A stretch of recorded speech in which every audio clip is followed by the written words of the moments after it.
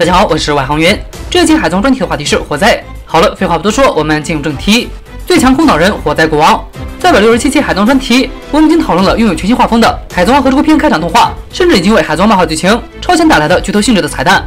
然而，除了索隆的流鹰以及潜伏的赤脚武士之外，这一期海藏专题围绕全新的和之国开篇动画，我们就再来到另外一个虽然被我们有意忽略，但其实也明显带有着剧透性质的细节，那就是在凯多海贼团四大战力相继出现时，出场时间大约一秒钟的凯多最强三灾火灾国王的短暂画面。在海灾杰克和异灾奎因都已经在海豚漫画彩页中登场过之后，唯一还未在海豚产业漫画中出现的火灾，在和之国篇开场动画的这个登场，严格意义上来说，就是他第一次以彩色的形象出现在我们的视野之中。而除了对应一百二十七期海藏专题所讨论的突进城前监狱长的身份可能，他那一身挺拔的黑色制服造型之外，国王身上的火焰也被明确展现出，并非是其他的颜色，而是正常火的颜色。然而接下来就是非常有意思的环节了。虽然以一百五十五期海藏专题我们已经讨论的国王龙龙果实古代种无齿翼龙龙龙果实能力这一点为根据，照理来说，国王背上霸气的翅膀似乎就应该是无齿翼龙的翅膀。但如果回到国王和奎因一起教训着小弟杰克最早在漫画剧情中登场的画面，我们就可以明确的看到，相比无齿翼龙的翅膀，国王的翅膀则根本就像是九十三期海豚专题我们所讨论的鸦片狗的翅膀一样，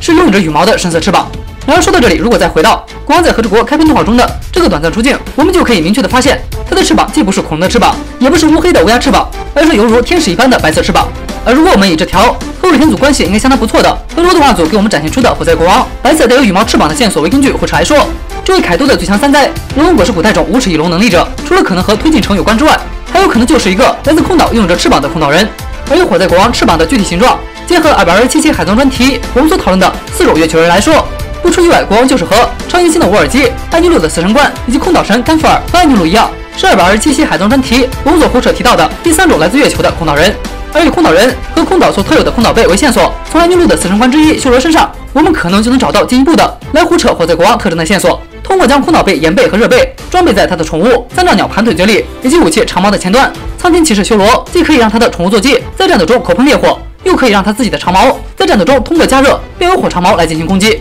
而以这位空岛老乡通过对岩背和热背在战斗和武器上的运用，我们可能就可以解答国王身上火焰的另外一个源头。进一步胡扯来说，除了在无齿翼龙形态时可以通过装备在身上的岩背像幻兽中的火龙一样喷火之外，以国王可能是来自空岛，并且拥有空岛背技术的胡扯为前提，他也可以结合岩背和热背的技术，将自己身上的配刀，尤其在火焰刀的力量上进一步加强。当然，必须要强调的是，这一切都还只是胡扯猜测。但如果空岛人的这个可能会成真，那不出意外，凯多三灾之一的火灾国王就是目前为止所出现的最强空岛人。